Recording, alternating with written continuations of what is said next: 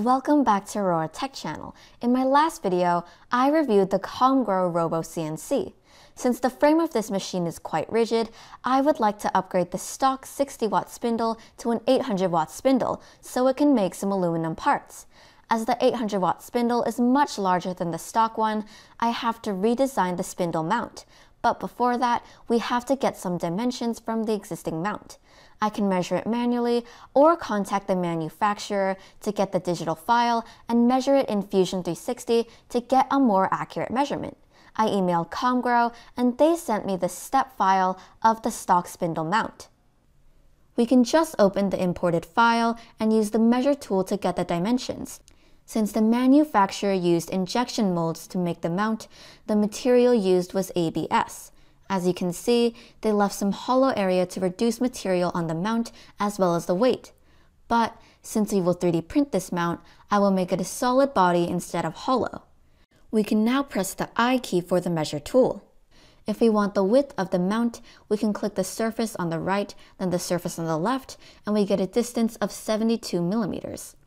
Then we will click on the bottom surface and the top surface and the distance is 85 millimeters. The two round holes here are for the bearings of the 12 millimeter Z-axis linear rod. The standard size should be 15 millimeters. Let's confirm it by using the measure tool and clicking on the circle. When we select the other circle, it will show two distances. 51 millimeters is from center to center, while 36 millimeters is the minimum distance from here to here. Next, we will click on the center circle for the 8 millimeter lead screw, and that diameter is 10 millimeters. We also want to know the distance between the spindle and the top so we can leave enough clearance for the spindle, and the distance is 31 millimeters. Since the new spindle is taller and larger, I will leave around 35 millimeters for the 800 watt spindle. Next, we will measure the side part that triggers the Z-limit switches. Since the height of the limit switch is 11.5 millimeters, it should also be 11.5 millimeters. We will double check both the top and the bottom, and they are all 11.5 millimeters. Okay, we have all the numbers we need. Let's create a new file and draw the sketch. I will start the sketch on the bottom plane. Since we know that the width of the mount is 72 millimeters, we will draw a rectangle 72 millimeters in width. I will just set the height to 25 millimeters since I want to draw another larger rectangle to hold the new 800 watt spindle, but I don't want to decrease the x-axis travel by increasing the width of the whole mount. I will now draw another center rectangle, let's say 80 by 80 millimeters, and I will set the relation to collinear between these two rectangles. Then draw a circle at the center for the 800 watt spindle. The diameter of the spindle is 52 millimeters.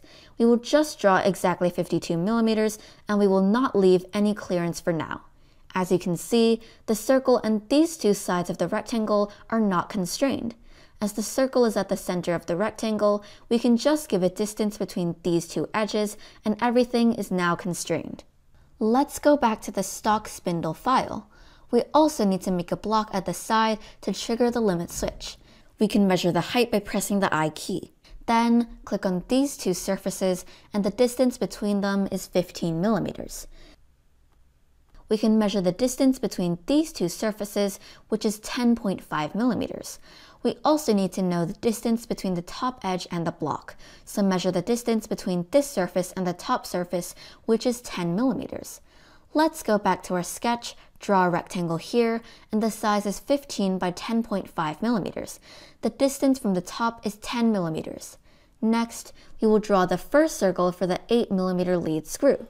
Use the C key for the circle and move the cursor to hover on the sideline.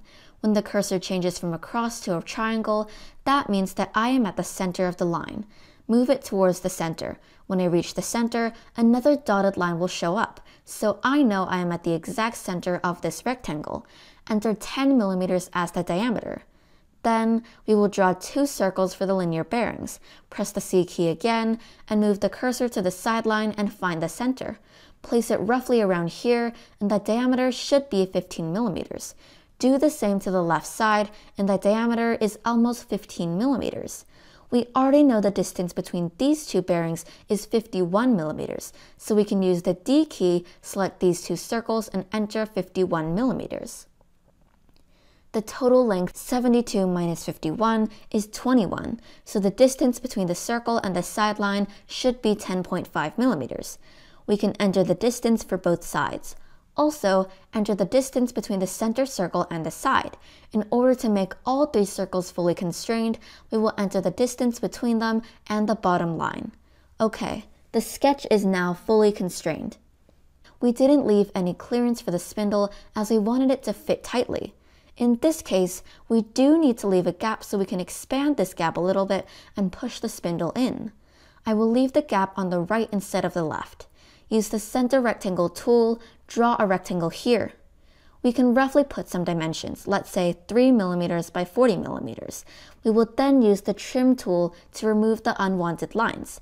When removing the lines, it shows some constraints were also removed, but that's fine. We will add it back by using the D key. The gap is 3 millimeters and it's 38.5 millimeters away from the top.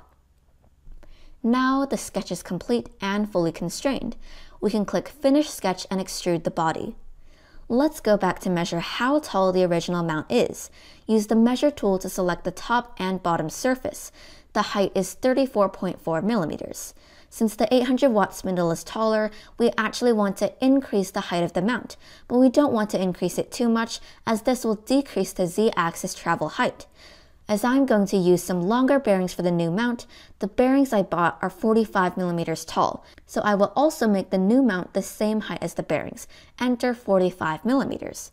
Next, we will extrude the block on the side to trigger the limit switches. Go to the browser and show the sketch, select the block on the side, and as we want to extrude it starting from the middle, it's 11.5 millimeters away from the bottom. Select start from offset, enter 11.5, and the distance will be the total height of the mount, which is 45 millimeters, minus 11.5 for the bottom, and minus 11.5 for the top. So the distance we need to extrude is 22 millimeters. Let's hide the sketch and check the distance. It's 11.5 millimeters from the top and 11.5 millimeters from the bottom. Next, we will make some room for the lead screw nut.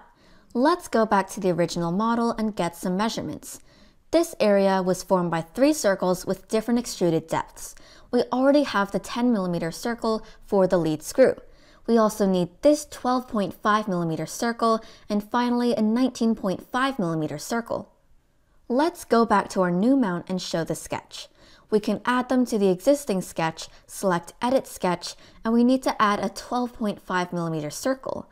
Add another 19.5 millimeter circle, go back to the original mount, and we also need two straight lines. We will measure the distance between them. It's 10.2 millimeters. Go back to our new mount, draw a center rectangle. The height is the same as the existing rectangle, which is 25 millimeters, and the width should be 10.2 millimeters. Okay, we will rotate to the bottom of the mount and use these lines to cut into the body. First, the 19.5mm circle is 8mm in depth. Select these two faces and enter 8mm. The 12.5mm circle is 17mm in depth. Select these three surfaces and enter 17mm. Okay, this should be good for the lead screw nut. Let's go back to the stock spindle. We need to make some holes for the screws and nuts to secure the spindle. There is only one hole on the stock mount. We need two holes on the new mount as the spindle is larger and heavier. Let's go back to our new mount. We will draw a new sketch on the front surface. Since I will use M6 screws to secure the spindle, I will draw a 6.5mm hole to provide enough clearance. The diameter of the head of the screw is 9.8 millimeters. I will draw another 10 millimeter hole. For the nut, the shorter side is 9.8 millimeters, so I will enter 10 millimeters and leave 0.2 as clearance. For the longer side, it's about 11.12 millimeters, so I will enter 11.25 so we can fix the nut without having room to let it move around. I will draw another rectangle and extend it to the side so we can cut it out from the side and insert the nut. Finally, enter some dimensions to fully constrain the sketch. Okay, we can press Finish Sketch and select the part we need to extrude. First, I want to extrude the hole for the screw. I'm using 60mm long M6 screws, so negative 75mm should be good enough. Go to the browser to show the sketch again. Next, I will extrude the space for the screw head. It's around 6.25 millimeters. I will extrude negative 10 millimeters. For the nut, we have to extrude it around here, so we need to change the start from profile plane to offset. Let's try negative 50 millimeters and negative 10 millimeters as the distance. The position looks fine. As the nut is around 4.9 millimeters, I will change it to negative 5 millimeters. Okay, the first screw hole is done. It looks fine. For the second screw hole, we can just use the mirror tool to duplicate one. In order to use the mirror tool, we need to create a plane right at the middle of two screw holes as the mirror. Select construct, and we want to create a midplane. We want to place the plane between the top surface and the bottom surface. Okay, you can see a new plane is created in the middle. We can use this as our mirror to duplicate the screw hole. Use the S key to bring up the search tool and search for mirror. We want to mirror features. The features we need to select are these three extruder parts the mirror plane will be the midplane we just created. And we want to make them identical. Press OK, and Fusion mirrored the exact features we selected. The mount is basically done. As the edges are sharp, I will add some fillets to make it look nicer. For these edges, I will enter a 20mm fillet, but for the back, if I enter 20, it will be too much as these areas are too thin and they may break, so I will just enter 5mm instead.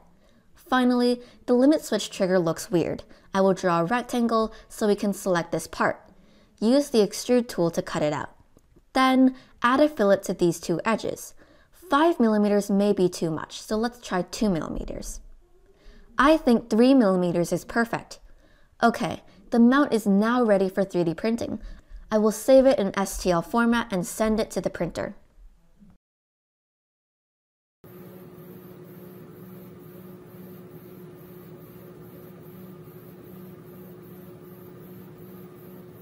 I will install the 800 watt spindle to the Comgrow Robo CNC in my next video. I will put it inside the CNC playlist of my channel, so if you're interested in seeing how it works, please check out my channel next week. Today is Halloween, so I will go outside and have some fun now.